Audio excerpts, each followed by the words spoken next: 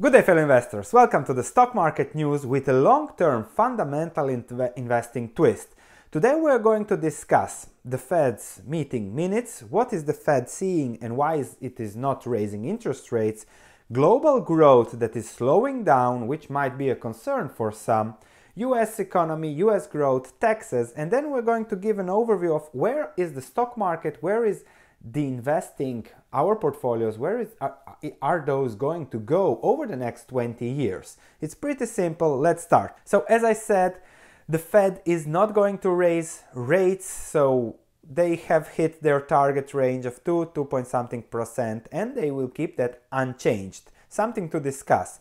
The lowest growth global economic growth since the financial crisis something to keep in mind and let's see how that affects our investing and what you can expect in the long term. Extremely important and people easily miss the top point. Let's start with the Fed. Something the current rate is close to the neutral rate and that should be it. So 2%, 2.5%, let's not touch it. The economy has slowed down when it comes to growth. So if we keep raising rates, we might lead it into a recession. Let's postpone a recession for as long as we can. So let's manipulate the market. Let's say improve the market, keep things stable, which is their goal. Inflation low, and with so much free money, it's easy to keep inflation low because there is so much competition that simply prices don't increase much. Maybe it will change one day, maybe not, who knows. For now, this is the situation, and the situation tells us that the Fed, ECB, Bank of Japan, Bank of China, they will do whatever it takes to keep the situation as is. Most people in the developed world have a great life, easy access to capital, things are growing, there is a lot of building, uh, high employment, low unemployment, things are great. So, as long as they can keep it like this, good for them, good for us. The main point from an investing perspective is how can I get both. I want to get exposure to the Fed's manipulation or the Fed's helping the economy. I want to get a piece of that, so I need to be invested. On the other hand, I have to protect myself for when the Fed eventually loses control. It can happen tomorrow, it can happen in the next 10 years. So when the Fed loses control, it will probably be inflation because there is so much debt. So I want to have assets that give me protection from inflation. Uh, we discussed fertilizers that are, let's say, defensive on that side. Other assets, you might want to check real estate if you can find something cheap, again, over value investing.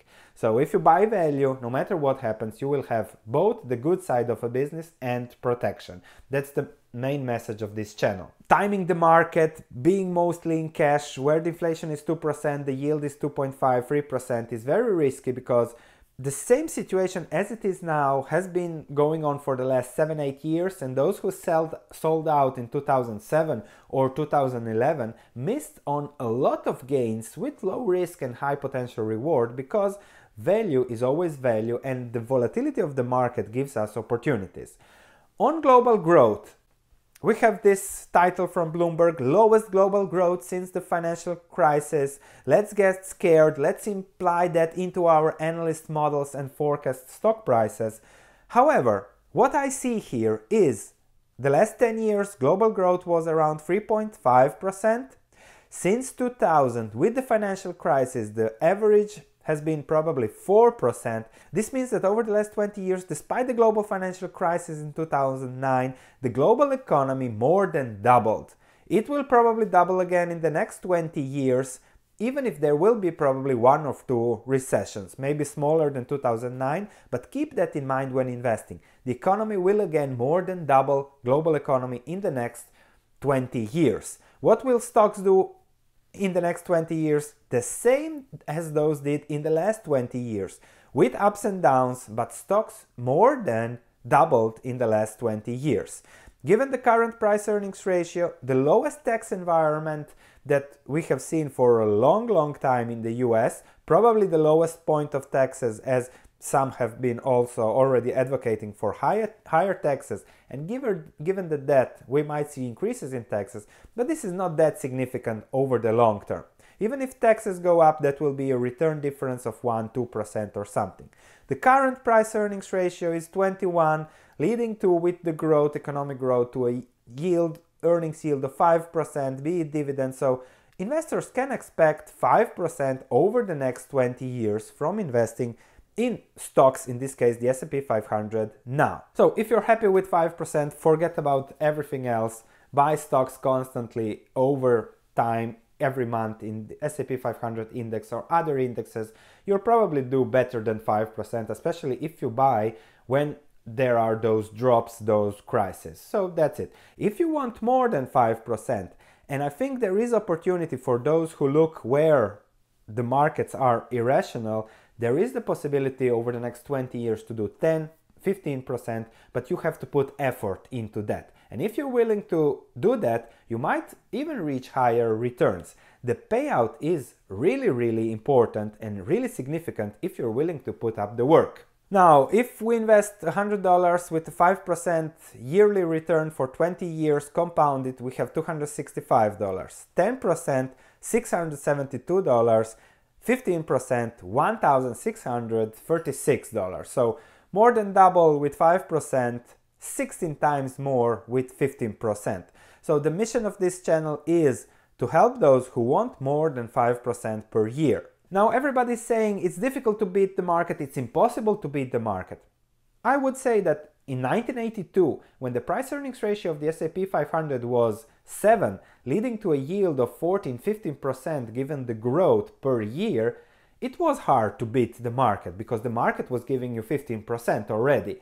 So in the last 45 years, hard to beat the market. Last 20 years, much easier because the market went up just 5% per year. So over the last 20 years, I think a lot of people did beat the market who did simple value investing and looked for businesses around the world and carefully assessed the risk and reward. This is the message of this channel, so please subscribe if you want more than just the average. How are we going to do it? Long-term advantage is what we are looking for. We are looking for the 20 years. Everybody is focused on, oh, weakest global growth this year, but few are focused on, okay, the economy is going to double over the next 20 years. Some sectors, fertilizers, are probably going to quadruple over the next 40 years. The good businesses, so 20 years. So that's our view. We're looking for value, margin of safety. We can't lose money if things go bad, but we make nice returns if things go good. Looking forward to your comments. Thank you for watching, and I'll see you tomorrow in the next video where we'll discuss the portfolio. Sunday we'll make an Uber Lyft discussion just to see what's the key when it comes to investing in such IPOs then we'll continue with fertilizers to stock to discuss, etc. etc. Thank you for watching, subscribe, and I'll see you in the next video.